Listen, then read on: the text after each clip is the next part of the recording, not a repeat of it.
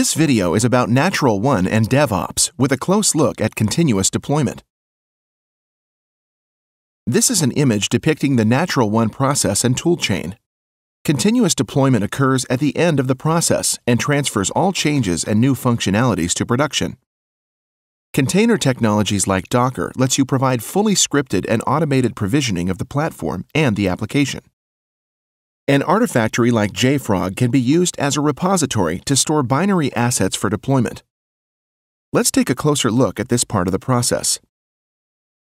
The NaturalONE development environment is used to implement natural applications. A source code management system, like Git, is used as the repository server.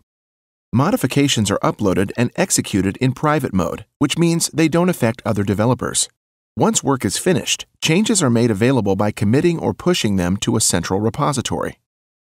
Continuous integration then transfers changes from the repository to the shared development environment, which ensures that application build and deployment are successful. We could also have a testing environment in addition to the development environment. Jenkins could deploy our application to this environment as well, and also invoke automated tests which prove that application functionality can be guaranteed. Continuous deployment architectures could be different based on customer requirements. In this example in Linux, a NaturalONE deployment script is used to deploy to production. All the changes that were committed or merged to the master branch in the Git repository will automatically be deployed to production by Jenkins using a natural development server. In this second example on z/OS, the repository-based team development process is identical. Changes committed to the central repository are transferred to the test and dev environment via continuous integration. z/OS often has strict established processes for changes to production and existing deployment tools.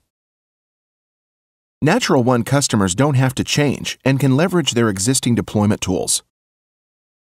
A list of natural asset names required for deployment can be created and used as input by NaturalONE. Let's look at how deployment with Jenkins and NaturalONE works based on the first architecture example. This is the Jenkins web application.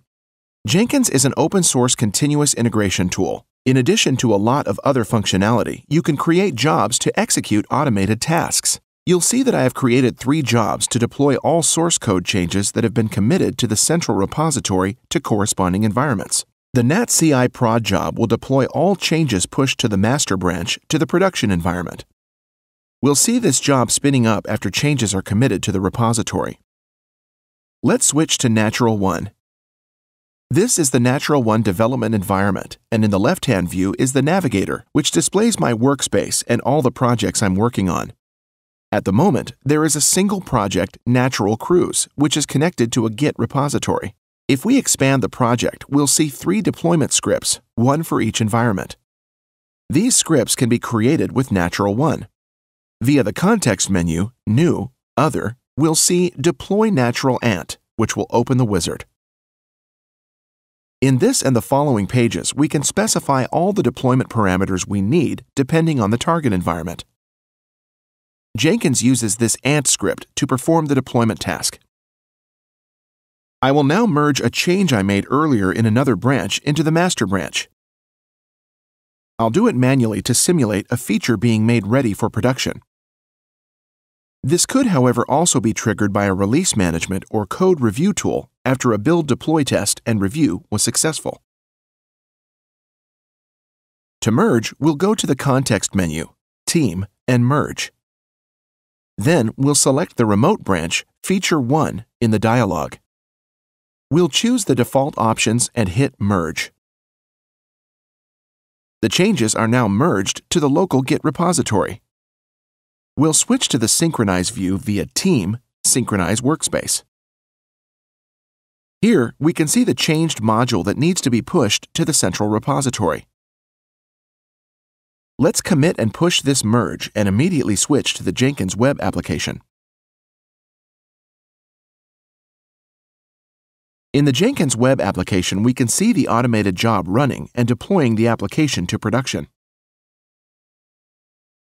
The job ended successfully, and we can take a look at the details and switch to the last build's console output. We can see here that Jenkins fetched the most recent version from Git and started the Ant deployment script. If we scroll down a bit, we'll be able to see the parameters and the established connection to the Natural Development Server. All the way at the bottom, we'll be able to see the changed module that was deployed and that deployment was successful.